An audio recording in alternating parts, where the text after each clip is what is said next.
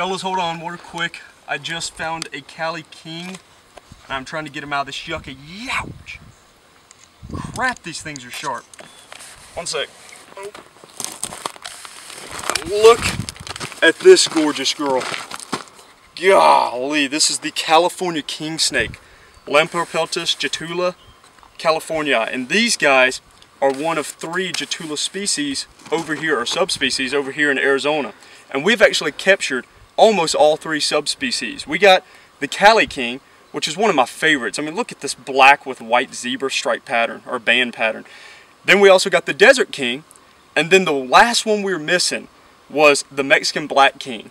And we called an intergrade of it. So it didn't really count, but kind of did. We kind of got 50% of it. We got an intergrade between a Mexican Black and a Desert King. And he was absolutely beautiful. He had black as his pretty much primary ground color, but then he had a little bit of mottling from the Desert King. You could tell he was definitely an intergrade. But these Cali Kings, this is my first one, and uh, golly, they're just something you'd think you'd see in the pet store. And these fellas, just like the other Getulas, are great at eating snakes. They actually specialize in it. They specialize in the sense that they're almost immune to snake venom. And while it's not an exact immunity, they are heavily resistant to it. They can take a bite from pretty much any rattlesnake, even coral snakes, out here in the desert and feed on them. And these guys will eat them opportunistically, so it doesn't really uh, become their main part of their diet. They'll also eat rodents, birds, lizards, eggs, frogs. They'll eat just about anything. They're kind of like garbage disposals out in the desert. They chow down on anything and everything. This dude's actually a little baby guy. I mean, he's maybe, maybe 24 inches in length. And they can get all the way up to four, six feet in some huge adults. But most of the time they'll average around three and a half to four feet. Absolutely beautiful snake. And it's weird the way you think you, oh my gosh, how could I see this pretty of a snake out here in just this barren desert? But this camouflage actually works fantastic. Whenever they're moving around at nighttime, which these guys are primarily nocturnal, but we're hunting in the morning times, so you can get them early, early mornings as well. Whenever they're moving at nighttime, this black and this white helps to just blend them in to that nightlife color.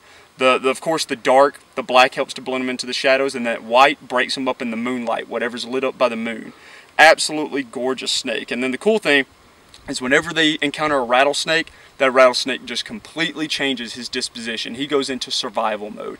And these guys will aim typically for the head. They don't all the time get them right on the head, but they'll aim for that head. They'll bite them right there, then they'll coil around, constrict, and they can constrict for hours. I mean, they, I've seen rattlesnakes pretty much stay inside their coils for around an hour, two hours of constriction time. Then they'll start eating them. Some of them will just start downing them without even constricting them. They'll just bite them and go ahead and start eating them without even constricting them. Most rattlesnakes put up a pretty good thrashing though, so most of them have to pretty much succumb to the constriction that the king snake puts on them. Absolutely awesome snake. Every time I catch a king snake, I have to praise God because these are hands down one of my favorite snakes. They're always beautiful, and the Cali King's kind of got a reputation for being a little bit more hostile than the Desert King. I'm so used to Desert Kings. Desert Kings are extremely placid, very nice, but this Cal King is definitely breaking that mold. I mean, look at how sweet he is. You'd think this is a store-bought guy. I mean, look at how nice he is. He's just moving around. And this is not common. Like most of the time whenever you get them, they'll typically ball up into a ball, protect their head. They'll put musk on you. I mean, these guys are known as poopers. They will poop that musk all over you and it'll just stink to high heaven. And then they're also known for whenever they go inside of that little ball to hide their head, they'll push their little nose against your hand and then they'll just start biting on you. It doesn't hurt at all, but it's just one of those things most people don't like getting bit by a snake. So they're like, oh my gosh, what is that? Uh, not a big deal. Inconsequential to these guys because they're non-venomous and definitely awesome snakes for the environment. So we got to praise God for this fellow. We'll let him go on his way. I got to put him back in his yucca plant. But California king snake, guys, absolutely awesome specimen. Daggum sticker bush.